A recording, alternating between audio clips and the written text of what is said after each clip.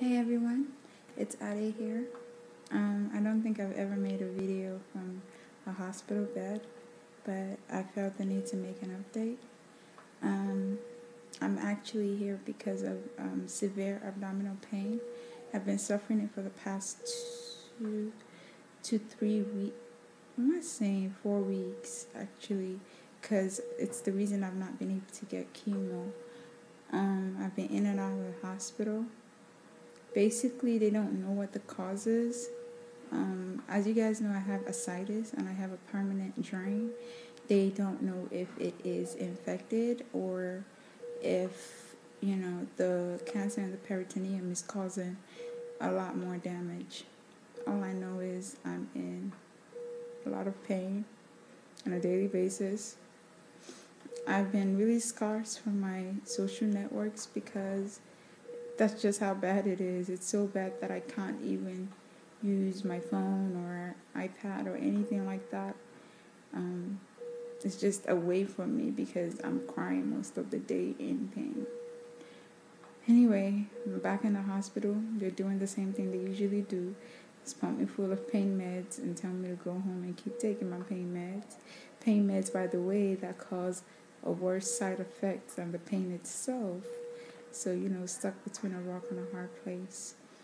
I'm supposed to start a new chemo, but as usual, my insurance has decided that they are not going to authorize it on time. So we're waiting for them to authorize the treatment so I can get treatment. I haven't gotten treatment in four weeks, yo. Um, I'm terrified because the cancer is so fast moving, but there's really nothing I can do about that. Um, besides that, you know, I'm just trying to live every day one one at a time. I barely get any sleep. I'm so tired. Uh, one thing about being in the hospital is because is that they give me fluids because I'm so dehydrated. Being that I can't drink or eat anything because my stomach would just harden so bad. It just gets so hard. I could barely walk. So that's like the update for now. Why I'm here. Hopefully, I get to make a video soon. As you guys see, I shaved my head again. No, I'm not losing hair. I'm not losing hair because of the cancer. I shaved my hair because it's just one of the things I can't worry about. I've come to realize that facing the kind of thing I'm facing, you have to remove whatever worries you. And at that time, you know, I'm worrying about I haven't shampooed my hair in, in the week, conditioned it in a week, blah blah. You know, my hair is tangling up, causing me headaches.